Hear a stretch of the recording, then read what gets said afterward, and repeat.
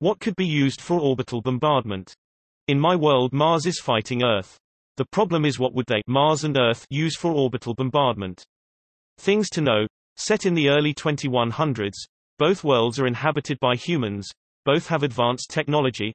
Earth has about 11 billion people and Mars has 10 to 15 million. I have came up with a few ideas but I need to know if they seem realistic or if there is a better way.